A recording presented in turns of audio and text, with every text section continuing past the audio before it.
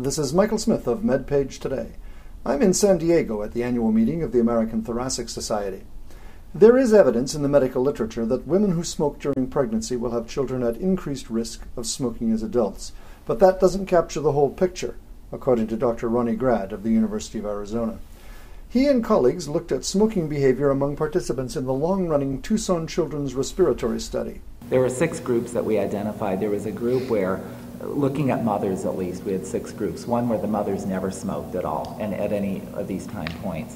One where the mothers smoked prenatally and during the early years of the child, um, so um, two weeks, two months, and two years, but not anymore when the child went to school um, and later.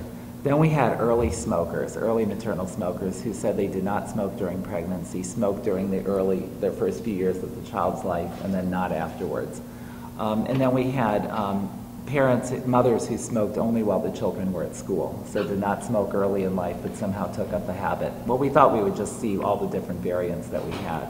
And then we had mothers that smoked at all the time points, and then mothers that smoked only during the early years of the child and when the child was in school. So the point, the take home message from that slide is there is not a single mother who only smoked during pregnancy and who had given up immediately when the child was born. So I think the important thing is a lot of the studies that assign things to pregnancy only, you can't really tell that that indeed um, is the case. The findings implicated the period after the child was born and before he or she started school. Then we looked at smoking at age 22 by maternal groups, and we found that children, that the offspring at 22 were much more likely to be regular smokers if the mothers smoked early on in life.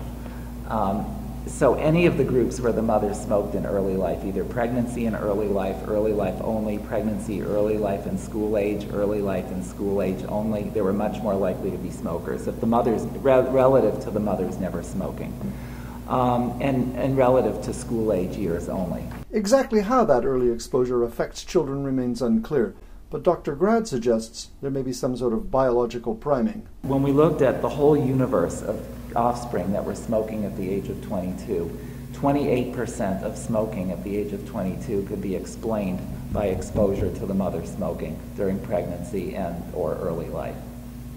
So what we're thinking from all of this is that maternal smoking during pregnancy and the preschool years is clearly a predictor of chronic smoking in the offspring at the age of 22. And what we speculate is that um, that, that exposure early on to maternal smoking somehow biologically will prime um, the children, the offspring, to become regular smokers um, as young adults.